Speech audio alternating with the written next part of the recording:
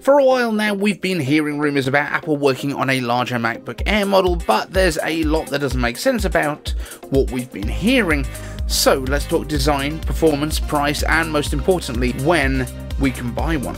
Want the latest Apple news, leaks, and rumours? Subscribe and ring the bell. And you guys have been asking about this too. I'm personally a huge fan of the MacBook Air. My first ever Mac was the tiny 11 inch 2011 MacBook Air, and that thing was amazing. So thin, and even towards the end of its 8 year or so useful life, it felt far snappier than any Windows laptop I've ever used in daily tasks, even up till today.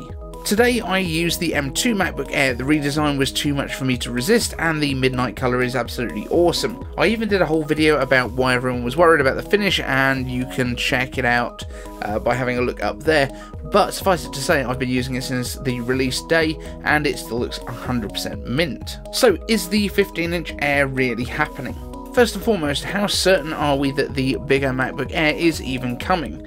Well, there's been a lot of confirmation that the 15.5 inch displays are going into production in the first quarter of next year from Ross Young, and his record on Apple displays so far has been 100%. He's literally never been wrong. Really, the only question mark would be what is the name of this machine. There's a chance that it could have a new name or simply be MacBook, and there have even been suggestions of it being called a MacBook Studio.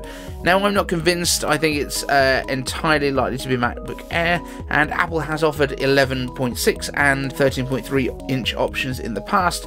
Uh, on previous models, so it's certainly not impossible. Also, if it was going to be called a MacBook Studio, that would surely be above the MacBook Pros uh, just like the Mac Studio is. Now, Ross only sees the panels as his specialty is the display market, so what makes this look like it's for a MacBook Air? Well, Apple's panels have the distinctive rounded corners and presumably a notch in there, so that's a decent indicator to begin with.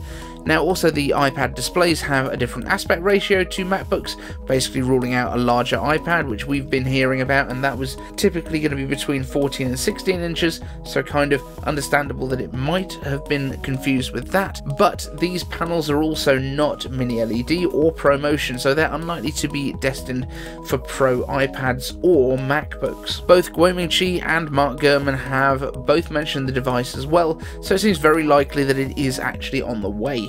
That said, they've also both agreed in the past with Jon Prosser about the Apple Watch Series 7, which was going to have flat sides, so no one's infallible. Except, of course, Ross Young. Now I would expect this to look very much like the 13.6 inch M2 model, just with a little bit more space either side of the keyboards and deep. I would also say though that those spaces either side of the keyboard will probably not have the speaker grills we're used to, as with the MacBook Air in its smaller form at least at the moment, the speakers bounce off the display at the back where you would expect a fan to be, but we ain't getting a fan in it. What chips will be inside the 15 inch MacBook Air and when? Now, there have been mixed reports about the chips that would power the larger MacBook Air, but I think it's pretty clear that whatever goes in it will match the smaller MacBook Air. Just like with the MacBook Pros, you can only get them with the M1 Pro and M1 Max chips right now, and all the configurations that you can go up to are the same. That for the MacBook Air means base M series chips, and my guess is that they will start with Apple's 2023 M3 chip.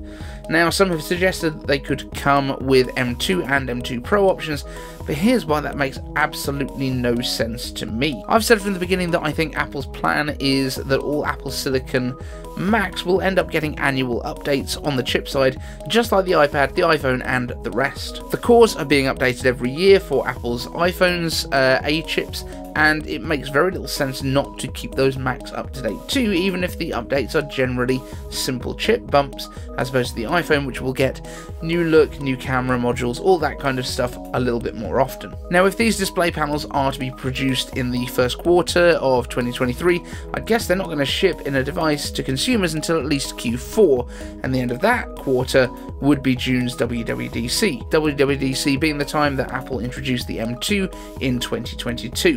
So for me, I'm expecting the M3 MacBook Airs to be arriving around then in both 13.6 and 15.5 inch sizes. Now I know there have been various rumours that the 15.5 inch could be out in early 2023 as soon as March, but that would almost guarantee M2, which would then be potentially superseded by by the M3 very quickly, either upsetting the M2 Big Air owners because it was only the latest chip for a few months, or not releasing at the same site, or not releasing at the same time as the M3 in the larger Air, uh, but it is arriving in the smaller one, which makes even less sense.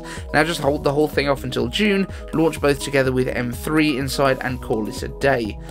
Also, you're not going to have that many displays ready if you're not starting them until the beginning of next year. What's it going to cost and where does it sit in the lineup? Now, I actually think it's reasonably easy to work out the pricing on the 15 inch MacBook Air because we have the MacBook Pros that are basically identical beyond the display size and the battery capacity already, and perhaps a little bit of cooling. And although the starting prices for those MacBook Pros in 14 and 16 inch sizes are $500 apart, that's because the entry level Pro gets a binned chip with 8 cores instead of 10, so for the same spec, the gap is $200, which I'd expect to be about the same with the MacBook Air. So while we have a starting price of 1199 on the Air with an 8 core GPU, I can see the 15 inch getting an unbinned chip for an extra 100 and uh, the larger display for 200, giving a starting price of 1499 for the Big Air. And that seems pretty reasonable to me. My guess is that it will start with 256 gigs of storage, non-binned M3, 8 gigs of unified memory, and the same I/O as the 13.6 inch 2, two uh, USB-C ports, a headphone jack, and a MagSafe for exclusive charging. Of course, that bigger form factor will also offer better battery life, which right now is the only party trick that the long in the tooth looking 13 inch MacBook Pro has up its sleeve. So I do think it's very likely that that will replace this model within the range as well. And that, of course, will be the end of the Marmite love it or hate it touch bar that is now only on that 13 inch MacBook I hesitate to say Pro. So, an M3 powered 15.5 inch Retina LCD, thin, fanless MacBook Air with a category beating battery life, Touch ID, more performance than 90% or more of people will ever need, and the best part of a decade of OS support on macOS for around $1,500 starting price, which sounds pretty compelling to me. For anyone who needs more display space because they might have visual impairments or needs a mobile capable computer that lasts probably at least a couple of workdays, this will be a very compelling option. This will also make a great uh, desktop computer if you dock it to a display, but then you can take it on the go with you too. Now, I don't think it makes sense to rush it out with an M2 and replace it quickly, but who knows? Apple works in mysterious ways. So, thank you so much for watching, and thanks to my Patreons for their support. Subscribe and ring the bell for more, and if you have a question, use hashtag iCaveAnswers down in the comments, and I can't wait to see you in the next video.